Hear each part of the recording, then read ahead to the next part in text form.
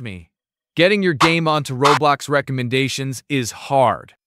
And when I mean hard, it's very hard. But like, how in the world do these games even make it to the front page? How can you make a game that can get there? That's what I'm going to be finding out in today's video. Anyways, please be sure to smash that subscribe button, and let's get right into the video.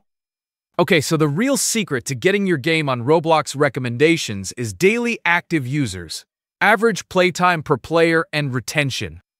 I will be covering these three key topics into getting your Roblox game recommended. Let's first start off with daily active users, also known as DAU. DAU refers to the number of unique players who log on to your game every day. A unique player is a player who has played your game for a while. DAU is very important because Roblox needs more information before recommending your game. Like it's better to have 80 DAU and less retention and average playtime than a big retention and playtime with low DAU. A good DAU to get recommended is 80 to 100 depending on stats. Next up is retention. Retention is the amount of users that come back to your Roblox game.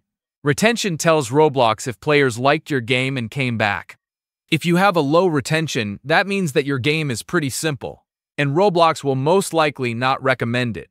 Your game is more likely to get recommended if your day 1 retention is over 5%, with over 80 DAU. Next up is average playtime. Average playtime tells Roblox how much the average user spends in your game. The higher average equals higher chance of getting your game recommended.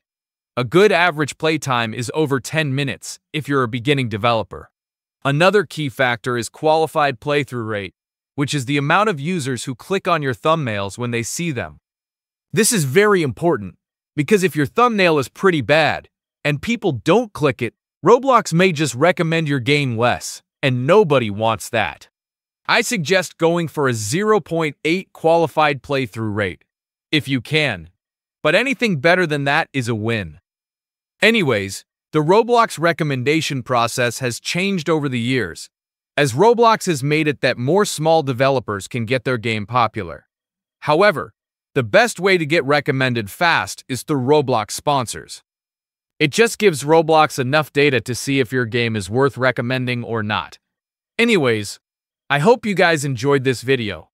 Please be sure to comment down your thought, and I will see you guys in the next one. Peace.